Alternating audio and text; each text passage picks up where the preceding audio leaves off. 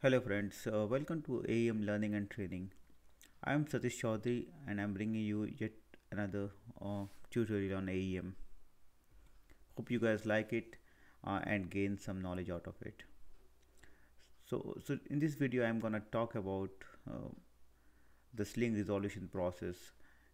In this video I will explain how sling maps to a servlet or a script in AEM, scripts and servlets are itself resources and thus uh, they have a resource path. This is either the location in the JCR repository, the resource type could be a servlet configuration or a virtual path. And uh, as you all know, JCR stands for Java Content Repository and this is the backbone of a Sling model where all the data are stored in the form of nodes. A quick introduction to what we're gonna what I'm gonna talk about today. I'm gonna talk about uh, understanding the sling resolution process, the basic steps for processing request, how do we decompose the URL, uh, resolve request to resources, locating and rendering scripts, and then finally understanding the entire URL de decomposition process.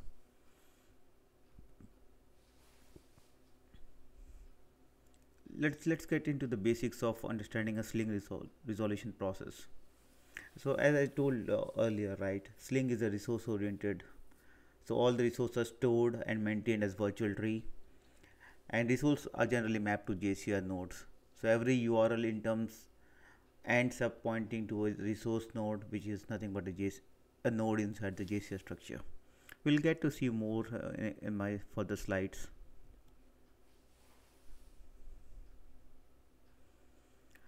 a very uh, basic step of processing URL uh, goes through multiple process. Basically it's broken down into multiple process. We'll go over each process uh, as we go through the video. To start with we, we decompose the URL and then search for the respective nodes identify the resources resolve the script or servlet and then we create the rendering chain. And finally we invoke the rendering change We'll discuss uh, each item in details as part of my next slide.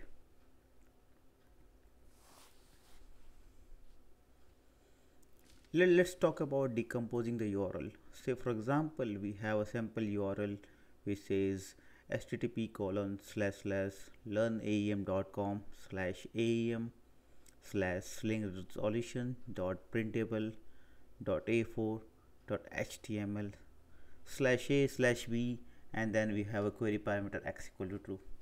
How does sling break this url or how does sling decompose this url the very the first part of it is very basic.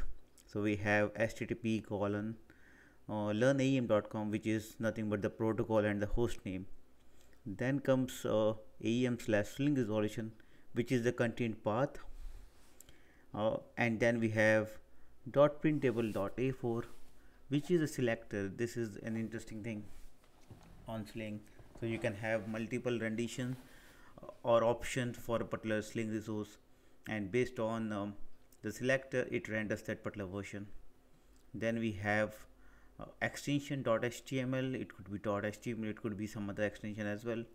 But for now as part of this URL we have .html as the extension uh, which is the content format it could be pdf it could be json it could be anything.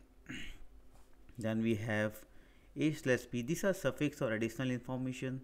So for example if you have to configure uh, a different version of uh, different version of your page maybe it's a client specific maybe it's vendor specific or maybe has a different branding then we can use a by b uh, or to provide some additional information. And finally we have uh, x equal to true which is uh, a url parameter.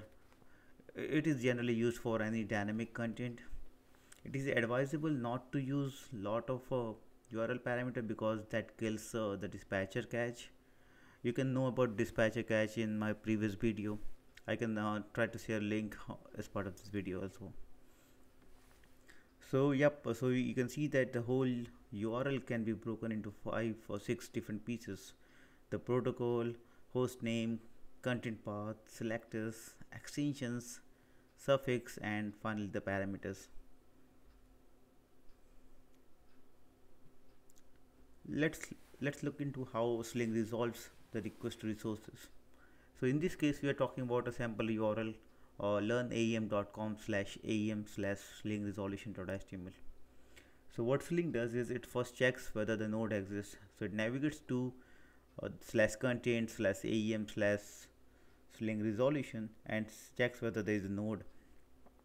If if we have a node available, then it checks, uh, then it sends a response.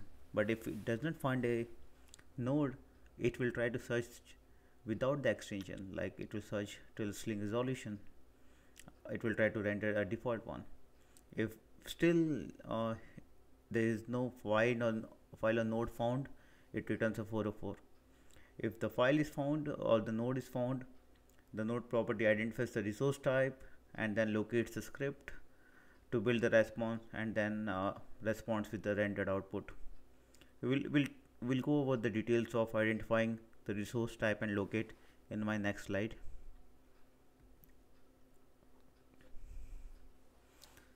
Locating and rendering script. Uh, so the locate once once the URL is mapped to a resource in Sling, we have something called resource type for every file, right? If you go to the content set, you will have resource type. This resource type tells about what scripts or what's the location of the script and resource to use. So first thing it does is it identifies the resource from the request and locates this resource type and extract the values once once once this is identified then it checks whether uh, there is a matching script. We talked about script in terms of uh, for example print.a4.html or or it could be any other identifier right? If it doesn't find those scripts it will render the default script. But if it finds um, the selectors then it will uh, it will prefer uh, the closest uh, selected match.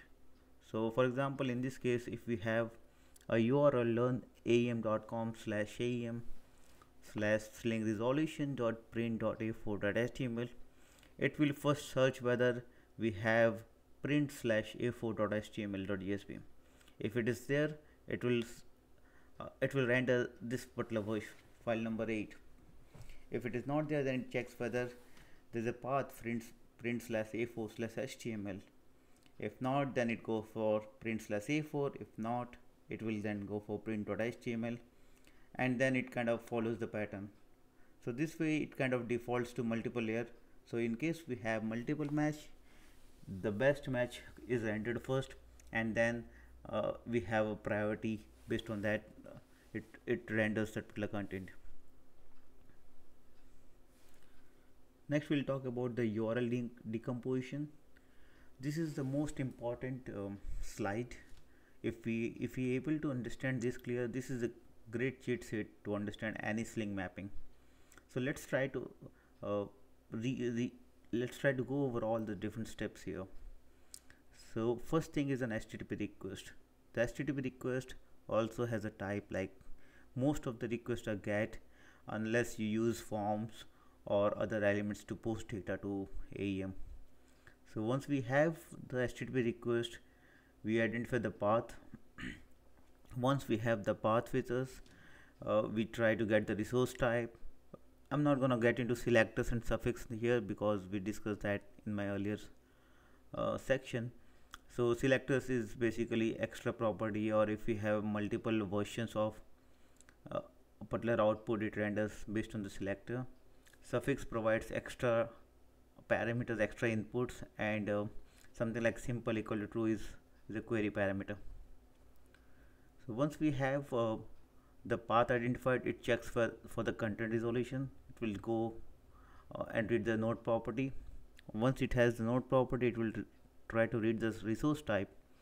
Once we have the resource type available it will then uh, then identify the script location based on the priority. So generally scripts are located into two places. Slash apps folder and slash libs folder. Slash libs are um, all aem uh, default which comes with aem and slash apps is where we have our custom code uh, custom code or custom components available. So once we have identified the sling resource it reads the value from the current node and maps it with the resource type and generates the content so if you see here we have script name uh, is again identified here. And then in 6 once we have the script it maps with uh, this include include is basically uh, if you have any external template included as part of it. But this is how it works. Uh, it identifies the resource path maps it with the resource type passes the content and then uh, passes the node properties and then renders the script. Once the script is identified it generates a page and returns the rendition. So uh, in this quick video we learned about uh, high level sling resolution. Uh, we talked about processing the url request. We talked about decomposing the url we talked about resolving the request. And then we also talked about locating and rendering it. So hope you guys uh, learned something out of this video. If you have any um, questions and feedback please post that in the comment section. I thank you again for watching this video and i will try to post more videos as i get some time. But uh, i would really appreciate if you guys can spend some time to post a comment and share your feedback on this one. Till then uh, take care.